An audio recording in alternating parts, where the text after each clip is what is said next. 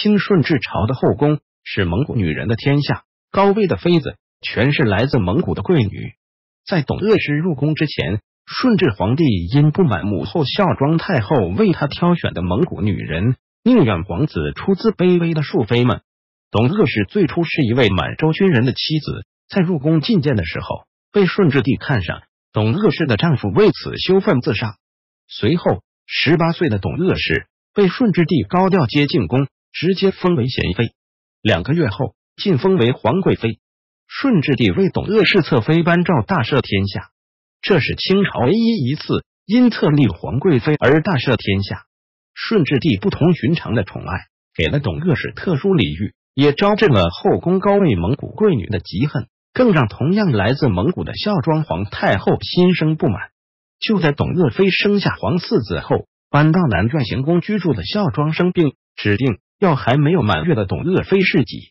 董鄂妃在寒冬腊月里衣不解带，亲力亲为，好似婢女般侍奉婆母。据《清史考》记载，孝庄在南苑养病的日子里，工人说孝庄面色红润，而鄂妃似病人。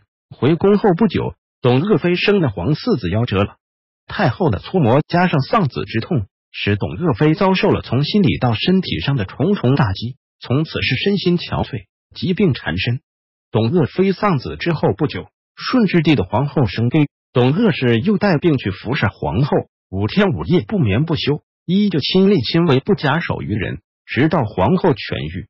就在董鄂妃病逝的那一年春天。永寿宫的客妃时使生病，皇贵妃董鄂氏带病服侍这位比自己地位低的妃子，像服侍皇后一样。聪明的董鄂氏深知自己的处境有多凶险，但是他不能要求顺治帝什么，只能要求自己行事谨慎谦恭。他对皇太后、皇后，甚至是低等的庶妃，都是毕恭毕敬，不敢行差踏错半步。董鄂氏承受着巨大的精神压力，还得强颜欢笑。不惜牺牲自己的健康为代价，去全力侍奉婆母孝庄、皇后和一众后宫妃嫔，期望能够通过自己的付出换取他们的理解，改善自己在后宫的生存环境。